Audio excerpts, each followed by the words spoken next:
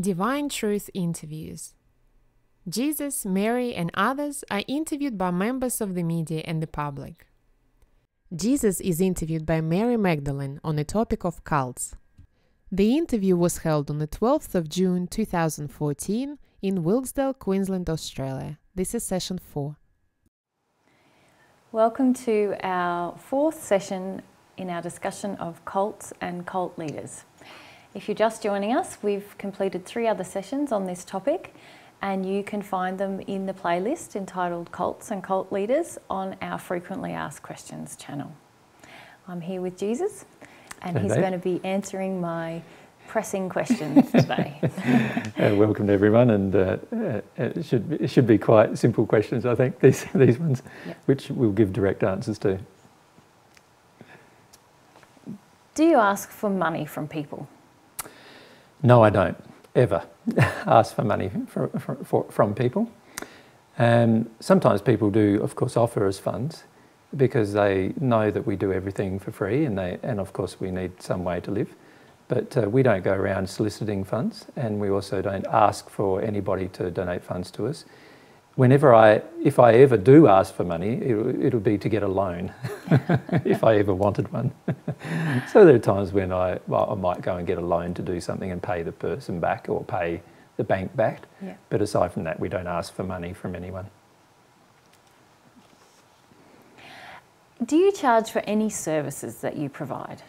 No, we don't. All of our services are for free. When I say when we say services, it's probably not the way we see them. We see them as gifts that we give to other people, and so we don't see them as a service that we provide, but rather as a gift that we give. And uh, and we provide all of the gifts that we give uh, for free, as a gift should be. Mm-hmm. We feel that the divine truth should be available to the world for free, and while we spend a lot of money trying to make it available for free with, you know, in terms of resources and other things that we need to make it available for free, we can, we can do that because of the generosity of other people giving gifts to us. And what happens generally is they give us the gifts to do it, and we just go and use that funds to be able to share divine truth for free with the world. Do you collect money at your seminars? Um, we don't actually connect, collect money at the seminars. It's more that we have a donation box up the back. Uh, we don't actually hand out a collection plate like people would do would see at a church or something like that. And we also don't uh, spend much time talking about money at our seminars, except if the seminar itself is about money. but so, but we do obviously uh, collect funds in terms of the donation box. But the donation box is usually up the back of a hall or something like that and people can place money in it if they wish, and uh, and and many people do. Not everybody does. Around probably around about a third of people who come to our seminars pr- place money in our donation box, and uh, and then we use that money. We declare that money for taxation purposes mm-hmm. with the with the Australian Taxation Office, and then whatever after tax that we've paid with that money, we use that money to then spend on sharing the services or, or, or gifts that we provide for free with the world. Mm-hmm. So that's how we utilise those funds. Do you collect donations? Um, yes, we do collect donations. Uh, I suppose the word collect is probably not the right word because we don't go out and collect donations or anything like that. We just have donation boxes or we have uh, our bank account that's on the internet uh, for donations, or, and we also have a PayPal account on the internet for donations. And people, if they feel motivated to place donations into one of those accounts or into a donation box at the back of a hall when we're at a seminar. And so we, we get those donations and utilise them. We, you and I live on donations, so we don't have any other source of income. And so we're very happy that people can let us do or, or enable us to do uh, what we feel is a very important work, sharing divine truth with the world, by and, and therefore sharing our passion uh, with the world, and and that they provide us the funds from their heart to do so. Mm-hmm. So we don't have anything like a collection plate handling handing around, or, or we don't solicit funds. We don't send out emails asking for money or any of those kind of things. We feel that uh, if everyone values the material that we produce, that sooner or later their heart will be motivated to help us out to, so that we can continue to do the work that we do. and we uh, use those funds for our own living expenses, mm-hmm. but we also use those funds mostly for, for pretty much all of the things that are required, expenses that are required to share the material that we present with the world. So, so what we find is that a lot of our funds don't go to ourselves personally, but in the end go back to the people who donated those funds to us. And what we do also is we place a summary of how we spend all of our money in the entire year from our taxation return to, and we place our taxation returns actually on the internet mm-hmm. for the public to see. So we're completely transparent with everything that we do. What would you do if you did not receive enough donations to live? well, firstly, I'd probably be surprised because I feel that most of the people who come along to our seminars or listen to the material on the internet uh, see a, a, deep value in the material we present. So I'd be pretty surprised if we don't receive enough donations to live. And it's been many years now since we've not received enough donations to live. But during the times when we didn't receive enough donations to live, uh, you and I obviously then had to find another source of or means of support of ourselves. And uh, both of us are well qualified. I'm qualified computer software programmer, engineer. I've got uh, qualifications in all sorts of areas in computers. And you've got lots of qualifications and, uh, as well. Uh, both of us are well enough educated to provide for ourselves, probably in a, in a more um, ostentatious way than we currently do if we yeah. decided we wanted to go to work. So we don't, we're not afraid of work and we're not afraid to do other work. But, but of course, we love doing what we do. Mm-hmm. And that's why I feel very, I'd be very surprised if we didn't receive enough donations because when you love doing what you do, the way the, the, the laws work, of, of God work, is that when you love doing what you do, you eventually receive all the things that you give away anyway in return. So, so that's what we find now, and we've done that now. Well, ever since you've been living with me, which is yeah. now six years, uh, we've been living like this and living on donations completely. And I was living on donations before then, before I met you. So, mm-hmm. so it, it would be very surprising to me if we didn't receive enough funds to live on at least. And, and also uh, very surprising if we didn't receive enough funds to actually continue doing the work we do. The reality is that there are most people who listen and watch the material uh, f- find it very beneficial in their personal life, and many of them are motivated because of that, f- those feelings they have, to donate the funds we need to continue it so that other people can also benefit. So, mm-hmm. uh, probably this is a great time to thank all of those people Definitely. who have given us the donations over the years and also who continue to donate to us uh, at the moment because without your your help we could never continue to do what we're doing. And we're also you know we have at times people donate significant amount of funds to help us in big areas. So there's times when we need some new technical uh, new technology. Uh, at the moment we're building a studio that one person has donated some funds to help us to do and, and so forth. So we really love to thank all of those people who have been supporting us over the many, many years that we've been doing this now. Definitely. Yeah. Mm-hmm. Are there any levels to what you teach that are related to money? Uh, for example, do you have to go to a new level in order to be presented a new truth or any new truth? Mm-hmm. Do you have to pay for anything? I feel a lot of these questions are motivated by people's personal experience of other people who present information, particularly people who prevent, present so-called spiritual truths yeah. have a tendency to be very good at marketing and we're not marketers at all because we do everything that we do for free so no there is the whole concept of is to, of having levels is ludicrous to us yeah. but um, no, there's no way that we would prevent a person from, from receiving any of the truth that we deliver.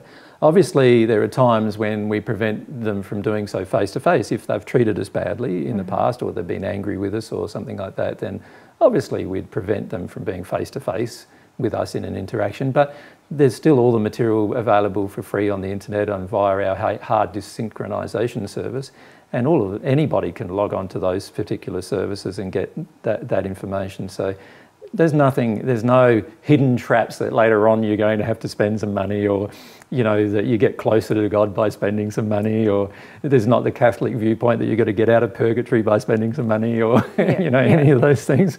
They're all, that, you know, obviously they're all ways that uh, religion, you know, on the planet has, has fleeced the flock or, mm-hmm. or harmed people, but that's something, something that we don't do at all. And there's certainly nothing that we present that we hold back, is there, no. in terms of even if there's a small group present, we want the maximum amount of people to benefit from it. So we present it all and uh, yes. on YouTube and on the hard disk drives yes. and things like that. And this is why we actually say to people, look, if you're going to come along to our seminars or any of the events that we have or be involved in anything that we do, you have to be prepared to have your face photographed or, or, or filmed at some point yeah. and to have that on the internet. And if you're not prepared to do that, then don't come along mm-hmm. because we feel quite strongly that everything that happens should be transparent and that everything that should happen that happens should be free of charge to anybody. So there's no extra level that you've got to engage, uh, no extra development you've got to have before you'll receive any more information from us. But if you desire to treat us badly, then obviously we will prevent you from being at our seminars or at our, um, you know, any of the other things that we pr- present so, so that we don't have to put up with the face-to-face interaction with mm. a person who's just angry and, and also out of harmony with what we teach. But that being said, it, those same people, many of them are still watching and, and listening from our website or from YouTube or from using the hard disk synchronization service. So we still provide the gift to those people. Yeah. We just prevent them from uh, attempting to harm us in some personal way. Mm-hmm. But aside from that, uh, there's no restrictions that we place on the delivery of our material at all. And, uh, as, and since it's for free, then there's no levels that you have to obtain to obtain different material. Yeah, yeah. yeah. And what about the issue of uh, moving through spheres of development? We often talk about that, don't of we? Of course, yes. Do you associate that with preferential treatment of no. certain people? Or? No, well, obviously, I, I think uh, I think anybody in their right mind would enjoy the company of a person who's more loving to them than a person who's not. so, you know, obviously I enjoy the company of people who, who demonstrate love or, or affection or kindness to, or compassion towards me more than I enjoy the company of people who attack me and belittle me and hu- try to humiliate me and pull me down all the time. And I think that's pretty normal. And, and I also believe that that is probably the right thing to do if you had any self esteem. Yeah. So, so, of course, you know, I am attracted to people who are more loving in their interaction with me. Mm-hmm. That doesn't mean those same people are probably loving with other people. I don't really know because I'm not there when they're interacting with other people. I'm just there when I'm when I'm interacting with them, obviously. But if a person is, uh, you know, in a higher development of love, you know, and we do talk about the development of love of the soul condition of a person, and if the person is a higher development of love, then obviously they're a far more comfortable person to be around. And even if we have differing opinions, we can discuss them openly without attacking each other and so forth. And that's a really enjoyable experience. And I like enjoyable experiences the same as any other person. So, so yes, there are times when I prefer the company of certain people, certainly. Mm-hmm. And, and I feel that that is a wise thing to do. I prefer the company of people who are open minded who also have a loving heart, have a desire to love, people who have a desire to, for truth. And I don't prefer the company of people who are either attacking or belittling or want to make fun of you or are just people who are very resistive and, and always trying to resist truth or resist the fact that they've just been unloving or something like that. So mm-hmm. I don't enjoy the company of those people, so I don't spend that much time with them, mm-hmm. aside from interactions in seminars or, or some other thing that we provide publicly. So yeah, I'm a bit selective like that, and, and I'm sure that everybody else probably is as well. and I don't see that uh, as an issue of my love actually for people. I still provide the same gifts to people, mm-hmm. whether they've treated me badly or not, mm-hmm. actually. And there's still the same potential available to all those people who have treated me badly as to, to those that have treated me nicely, ex- with the exception that I don't, inju- I don't have face to face contact with people who treat me badly. Mm-hmm and that's the only restriction I place upon any relationship that I have with another person. And so that's not necessarily related to a number value of a sphere or a definitely, level. Definitely it's, not. It's just a very simple yeah. uh, Well, the reality is that most peop- most of the people who we relate to on a day-to-day basis have not yet learnt very much about love and have not yet learnt to have a love of truth either. And so, if I restricted my my you know access to people who only I felt had a love of truth or had a love of a love of you know becoming a more loving person, then I'd probably have to be a hermit, you know, uh, because there'd be so many people that I'd say, well, I can't be with you because that, that was unloving then, sort of thing. But, but that's not what it's like at all. That's not what we're like. We're very tolerant of people's unloving behaviour, with the exception that we always were trying to help people, somebody improve their unloving behaviour. Yeah. And we're very attracted to people, no matter what unloving condition they're in, who have a desire for truth, who have a desire to, to want to grow and to become more in harmony with love. And, and that doesn't matter, so it doesn't matter to us what their condition currently is. What matters more is their internal desire, what, what they really want to do. Do they really want to change, or any of those kind of things? You know, if a person really wants to change, then I'll spend quite a lot of time with them, as you know. Yeah. But if a person doesn't really want to change and doesn't really want to grow, no matter what condition they're in, I, I'm not that interested in spending a lot of time with them. Hmm. Yeah.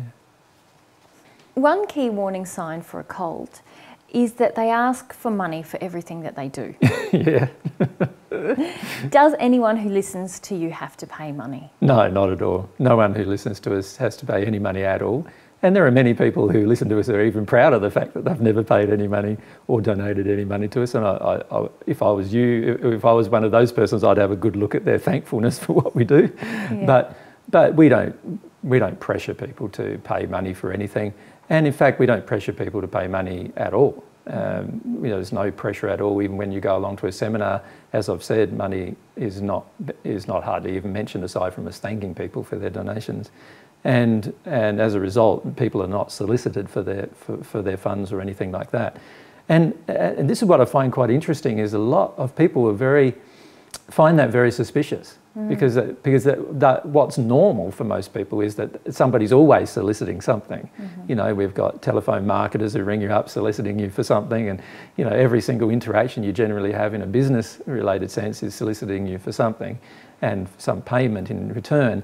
And when we don't ha- require a payment in return for the gifts that we offer, and most people become really suspicious as if there's some other hidden hook or something like Yeah. that.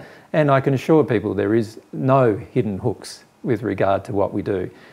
We just present the information, what you do with it is up to you. Most of the people who listen to our information we've never met, and uh, mo- most of the people, the majority of people who listen to our information have never uh, donated to us at all, in fact. Uh, and it's also true, isn't it, that a lot of the donations we receive, we don't know where they come from. Correct. Well, you know, obviously the person says a name or something like that, but in the seminars, uh, most of, all of the donations are anonymous, and so we have got no idea who donates to us from a, in a seminar perspective, and I think that's wonderful because it means it has to come from the heart of the individual, and there are times when other people donate uh, via a bank account or via, you know, via pay via PayPal, and of course then they have to have their name in order to make it happen, but. But again, many times we don't know them or know what how the material has affected them or affected their life at all. Um, we just want to continue presenting the mat- new material, and there's lots and lots of new material, as you know, Yeah. that we want to present. You know, even with these FAQs, there's like thousands of more questions I'd like to answer, which are going to take many more hundreds of hours to do, and uh, and so obviously, you know, we we will need to have the funds come in to help us to support us to do all of those things. But we're quite trusting of the fact that people of people's generosity, mm-hmm. and we're also quite trusting of people's goodness. You know, there, there's a lot of, people I feel who who do feel an appreciation for what they learn and what what they listen to. And, and we're very thankful for, for those kind of people because they're the kind of people generally that help us do what we love doing. Mm. Many spiritual teachers believe that if someone doesn't pay something financially when they attend a seminar, then those attending won't value the material. Do you believe that people have to pay for what you give them in order to appreciate what you give? No, I don't. I feel that there's people with very little funds or no funds at all, and many times some I feel from them a greater appreciation than those people who have some funds who do finish up donating some funds to us. So, so the reality is that true appreciation of any material comes from the heart of a person. Mm-hmm. And I don't feel it's linked in any way to having to pay money. Now, of course, in the world we live in, the reason why that ha- seems to be the case is that the majority of people in the world believe that if they've paid a bit more, have paid more money towards something, that that means that they have to listen more and it sort of motivates them to get as much out of it as they can. Mm-hmm. So when people come along to our seminars, sometimes many of them are asleep because they don't want it, you know, they're not motivated by those kind of motivations anymore. And, uh, and sometimes they get a bit spirit influenced and they get influenced by other pressures and they're tired and whatever. And before you know it, they're nodded off. And they don't, we don't worry about any of those kind of things happening because, and we also don't take it very personally. And the main reason why is because we feel that that's the measure of their desire to, to have the material presented. And so I feel personally that true desire is not about money.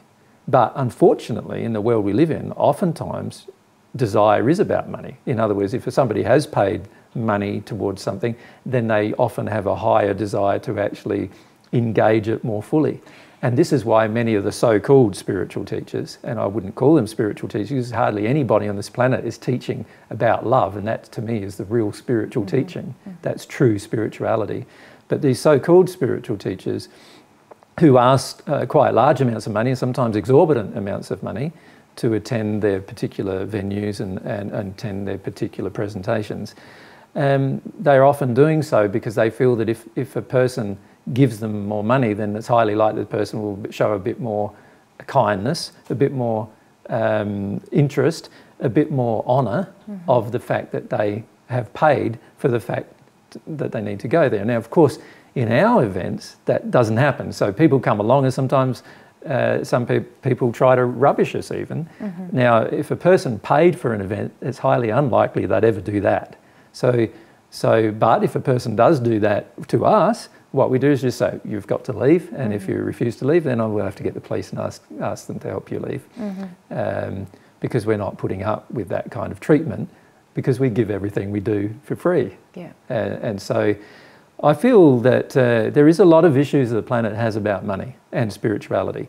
And unfortunately, historically, there's been huge amounts of funds go into the coffers of churches and, and other religions um, from people who are very, very poor. And those funds have never been redistributed back to those poor people.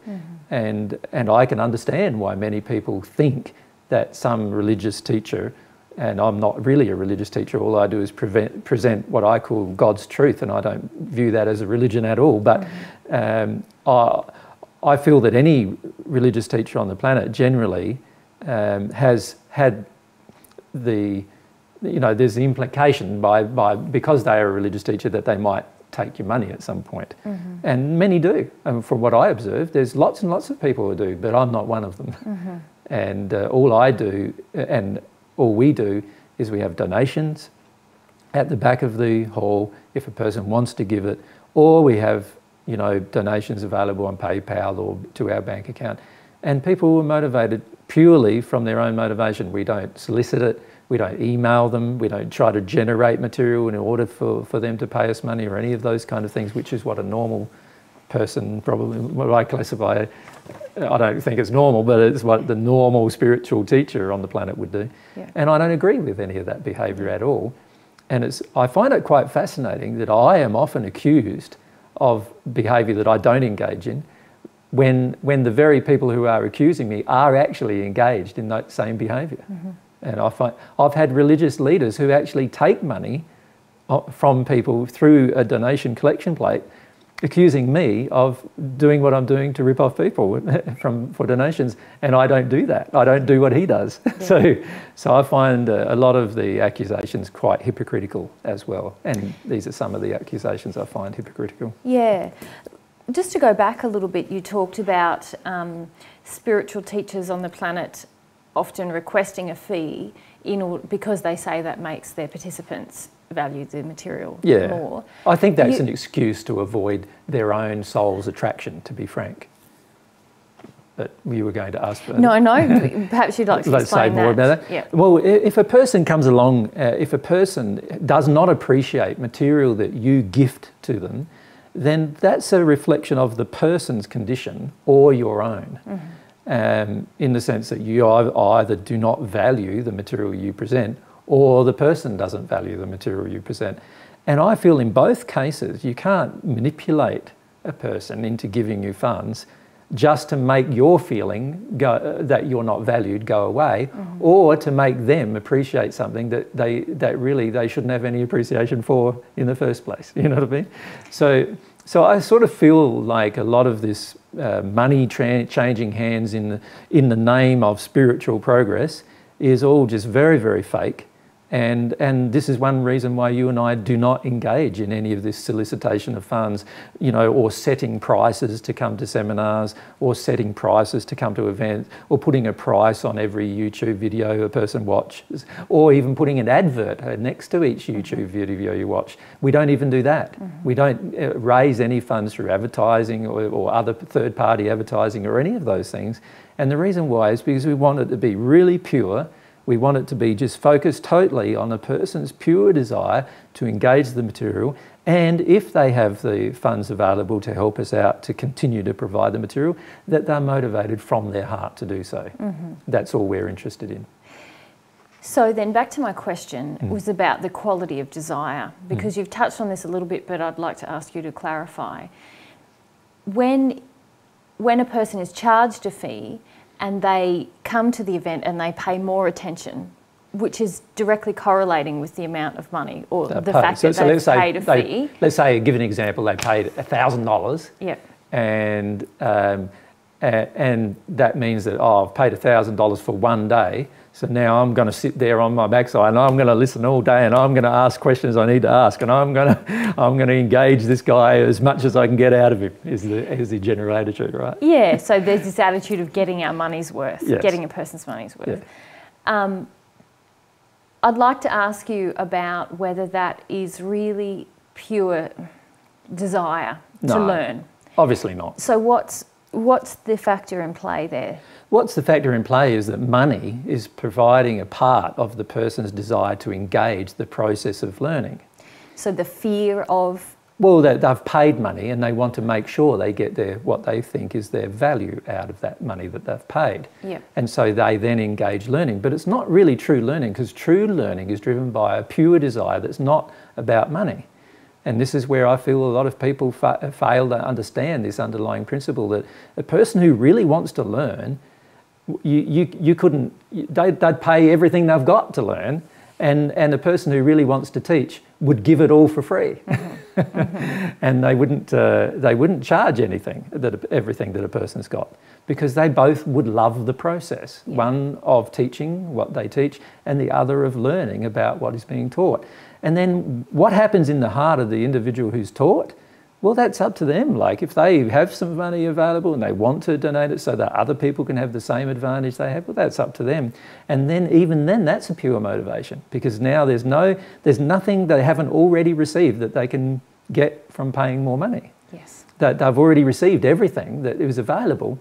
And so the paying of funds is now driven by their pure heartfelt desire rather than any other reason. Yeah. So yeah, I feel that it's very important that all teachers on the planet realise that every time you ask somebody for money, you are setting up a whole heap of very unloving interactions that are driven not by pure desire anymore, but rather are driven by the fear of lack of money. And true learning can't occur under those conditions. And true engaging of what is being taught will not happen, mm-hmm. right? Uh, you don't en- engage it unless you're truly interested in, in it and you have a pure desire to engage it and you want to change. Mm-hmm. And, and a person like that, why should they have to pay any money to change? Yeah. And, and my feelings are they shouldn't have to. That's why mm-hmm. we do everything we do for free. Mm-hmm. Obviously, in this world, most people in Western society need money in order to survive. How do you support yourself financially? Well, how we support ourselves financially is that we receive donations from people who are motivated only by their heart desire to give us a donation. So we don't solicit funds, nor do we demand funds, nor do we try to elicit funds, nor do we try to manipulate people into giving us funds. We just, we just do what we do, which is present the truth, the things that we believe are true to the world. And people who appreciate that uh, feel motivated sometimes through their own desire to give us funds. And I say sometimes because not everybody does feel motivated. You know, there's probably two thirds around about of people generally don't feel motivated to give us anything. But, but of the one third who do, that's how we survive financially. So from those donations, we pay all of our bills. Uh, you and I pay all of our food. We own our own home and our own property, so you know we don't have too many expenses going out on our property. But uh, we still have food and cars and travel and all these kind of things to pay for. And all of the very generous people who feel motivated from the heart to donate funds to us donate those funds, and that's how we support ourselves financially. Now, how that all happens and the amounts that all happens in are all recorded on the internet for anybody who wishes to have a look.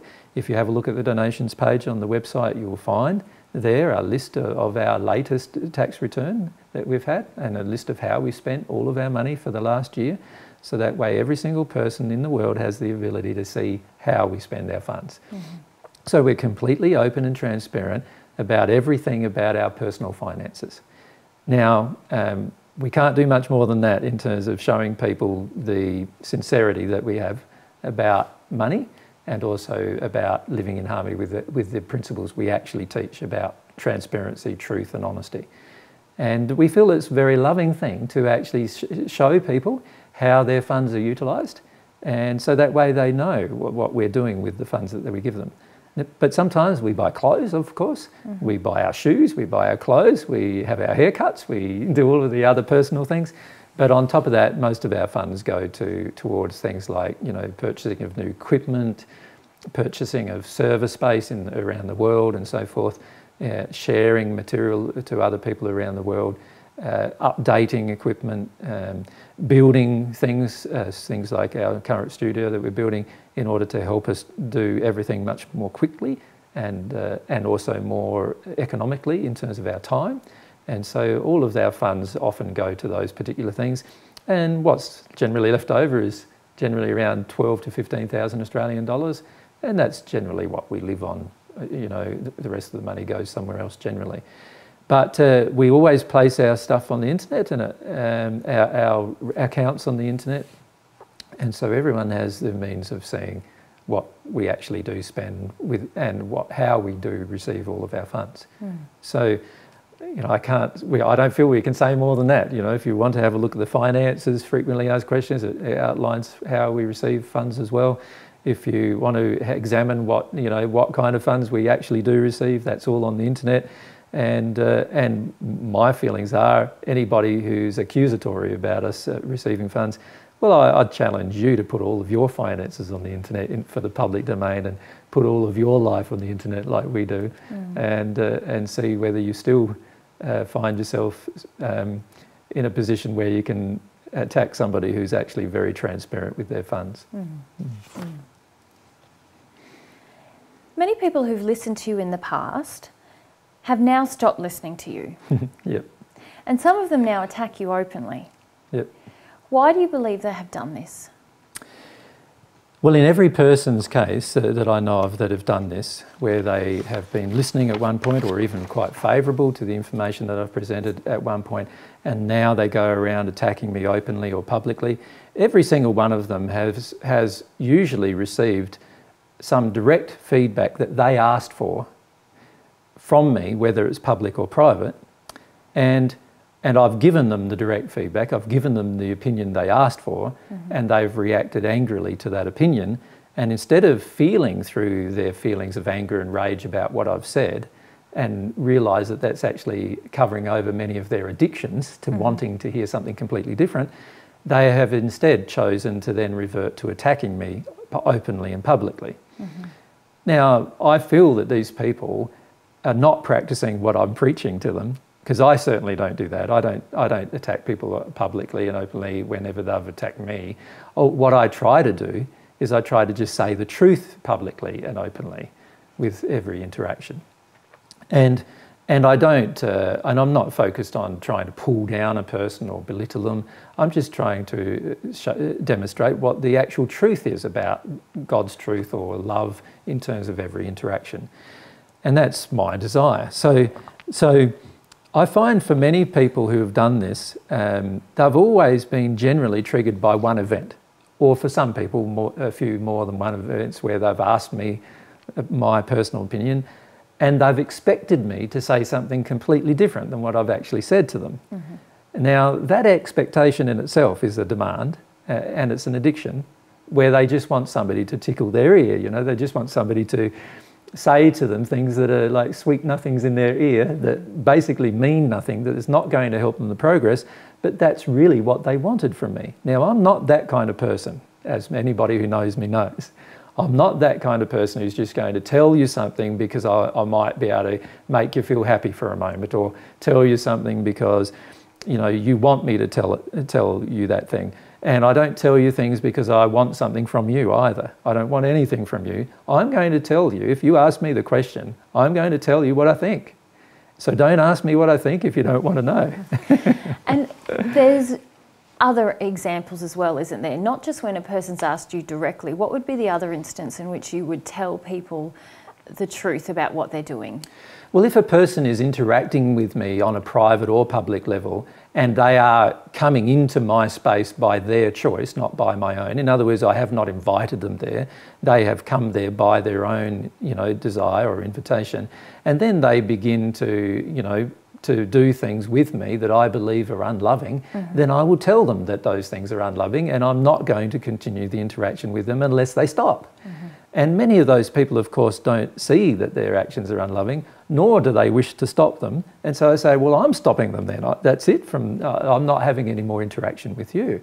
Now, under those circumstances, those people generally get very angry mm-hmm. because they their addiction to whatever they wanted to do with me, which is usually in most cases those people wanted to attack me or belittle me or humiliate me in some way, and they now no longer have the opportunity to do so now they try to do it publicly. So if they have a means at their disposal, like some members of the media have, then they go and say all these false things in the media so that, so that they get their you know, satisfaction out of attacking me, even though many of the things they claim are completely false. And for those people who are not members of the media who've come to a seminar or something like that, they then go around to their friends and tell all their friends that I'm a terrible person, usually call me a lot of swear words in the process, mm. and never go there again. But all of it, all of it's happening because they're just very angry and they didn't get what they wanted. And what I find in today's society, particularly in Western society, is whenever somebody doesn't get what they want, they then criticise the person who didn't give it. Yeah. Now, I don't believe everyone on this planet should get what they want. I, I believe that a lot of what people want on this planet is out of harmony with love, out of harmony with truth, out of harmony with ethics, out of harmony with morality, and there's no way that I'm going to feed those particular things when I'm teaching something completely different. So, so any person who comes to me expecting that they're going to get certain addictions met or get certain desires met, uh, who doesn't know me very well, will often go away very disappointed and sometimes quite angry.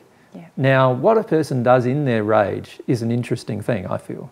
If a person who's angry then starts attacking the person who they feel made them angry, then they're not looking internally at themselves as to why they're so angry.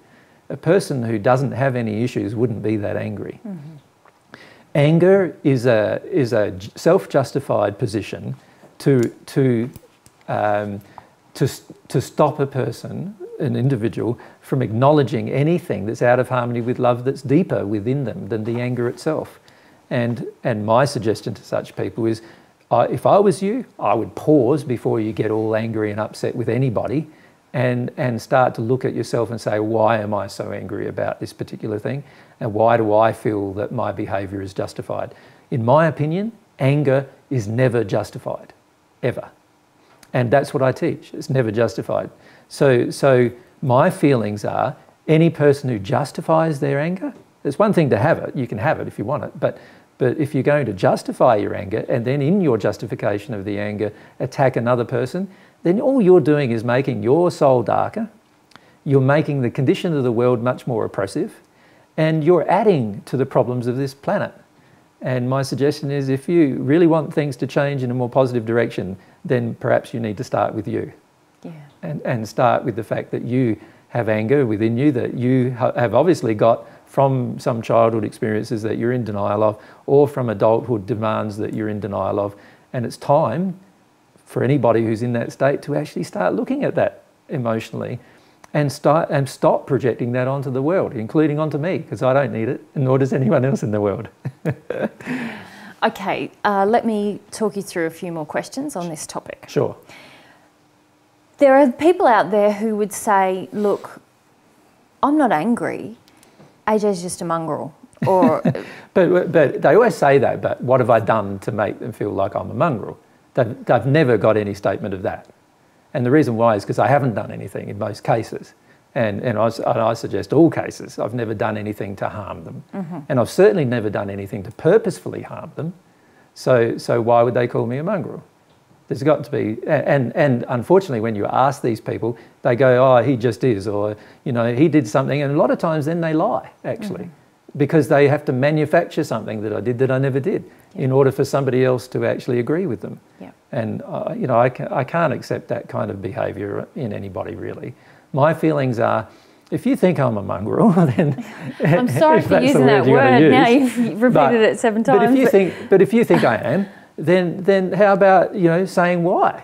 Like, and if it's just because I'm saying I'm Jesus, well, I don't think that's a good reason. If it's just because I receive donations from people that they've given from their heart, I don't think that's a very good reason. Uh, you know, so say the real reasons why you feel I am. Mm-hmm. And when it gets down to it, the majority of people have no idea why they feel I am, they just feel I am. And uh, I find that very interesting too, because that often indicates that they just have no desire to hear any truth whatsoever, and anybody who tells any is just going to be a mongrel to them. And that's the way. And I feel those kind of people, you, you're going to, you're the kind of people who, who cause this earth to change slowly, who cause the environment to change slowly. You're the kind of people who attack other people all the time because you don't get what you want. You're the kind of people who need to change a lot. Mm-hmm. and I suggest you try to mm-hmm. change. Mm-hmm. And you'll be a lot happier, and so will anyone around you if you do. Yeah, absolutely. you know? And it's very common, isn't it, for people to neglect to mention the personal feedback that you've given oh, to oh, them? They always do, yeah. yeah. What, what happens with most people who have been, uh, become angry with me is they neglect to mention the circumstances that were surrounding when they first became angry with me. Mm. Because in most cases, they will have to say that I wasn't angry with them. Most, in almost all cases, I'd have to say they asked me to tell them what I finished up talking to them about, mm-hmm. and, and they wouldn't, if they admitted all of that, then anybody listening to them would say, Well, what you're angry about? you know what I mean? And of course, so most people who, who are now angry with me don't want to do all of that. So they just make out there's some kind of hidden agenda or something, something that um, somebody else will actually accept as a reason. And, uh, and I find most of them are very dishonest, um, in fact. And when I recollect the circumstances surrounding their first point of rage with me, um, I know exactly what was the cause of their first point of rage with me. And in pretty much every case that I've ever seen, there was always a first point when mm-hmm. I know that their, their mood towards myself shifted because of something that I said. And that something that I said was always something they asked me for. They asked a per, for a personal opinion on that particular subject. Okay, so let me just draw you in on that point. Mm-hmm. What if someone says, Well, no, I didn't ask him a direct question right at that moment before he told me that whatever he told me. Um, well, in, in the majority of cases, they have. That's okay. the irony. Yep. In the majority of cases, they have. And the only other circumstance where I've actually told them something they didn't want to hear was when they were in my face trying to do something towards me, which was out of harmony with love. Yep. And what do they expect me to do under those circumstances? Of course, I'm going to say something about that. Yep. So, yeah, I feel in both cases, one of them is the uh, attempt to force me into a position of being abused, which I'm not going to accept. And the other position is they asked me for information, and, and which I freely give. Mm-hmm. Uh, and, uh, and they didn't like it. Mm-hmm. And they're the only two circumstances I've ever seen anybody get upset with me. Mm-hmm. I've never seen anybody get upset with me for any other reason than that. Yeah. So. Yeah. Okay, um, and I also know that you have a personal kind of a policy about public uh, feedback and private feedback. Certainly. Can you tell us about that? Well, I feel that if a person has uh, done something with me privately, where they've abused me privately or they've attacked me privately, then I will talk to them privately about that matter and, and you know, hopefully resolve that matter. If if they don't resolve the matter and they still think that they can attack me privately, then I just say I don't want to spend any more time with you, and I don't. Mm-hmm. If a person attacks me publicly, then that's very very different. When they start to attack me publicly or start sending me emails, which are all to my public addresses and so forth, then I start going, well, no, now you're not doing it privately anymore. Mm-hmm. You're doing it to other people and you're saying things about me to other people publicly, and you're also attacking me publicly, and I'm going to say something about that publicly. Yeah. and my general viewpoint is if somebody does it privately, I will, I will do it privately with them. If they do it publicly, then I must do it publicly in order to help people who are involved in the public interaction to understand the truth about the matter as far as I'm able. Yeah. And that's why I take that policy. And that also counts, doesn't it, for when somebody is representing, supposedly representing you publicly or what you're teaching publicly. Yes.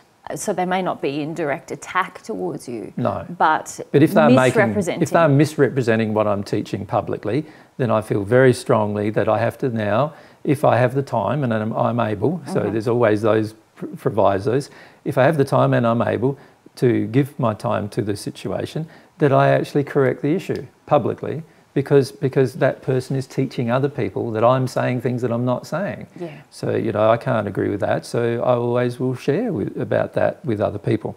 Now sometimes those people get very offended, and I say, well, stop teaching those things publicly. Then mm-hmm. you know, come and talk to me first before you start saying what I th- what you think I'm teaching. You know, because because unless you're making sure of it, I'm going to correct it. Mm-hmm. Because there is enough untruth on this planet already without people adding to it. Yeah. And there's enough untruth, there's enough misrepresentation of divine truth and of myself and of yourself mm-hmm. and of everything we do. There's enough lies in the media and there's enough lie, people lying about us pub- publicly on internet forums and so forth already for us to be a supportive part of that. Well, of course, we're not going to support that. Yeah. So we're going to do what we can. We're not going to worry about it very much, but we're going to do what we can given the circumstances and situations to correct that untruth. Yeah. And of course, we have a desire to do that because we feel very attached to truth. We love truth. And we feel that truth is everything. Truth is what sets people free. Truth is also what opens people to love. Truth is what also helps people understand that there's a lot more to learn. And, and without the truth, none of those things can ever happen. Mm-hmm. And also, God loves truth, and all of God's laws are about truth. And a person can't progress without actually learning how to tell the truth, recognize the truth, and also practice the truth in their day to day life. So I feel telling the truth and saying the truth about circumstances and things are very, very important in our day to day life. Yeah. So that's what we do.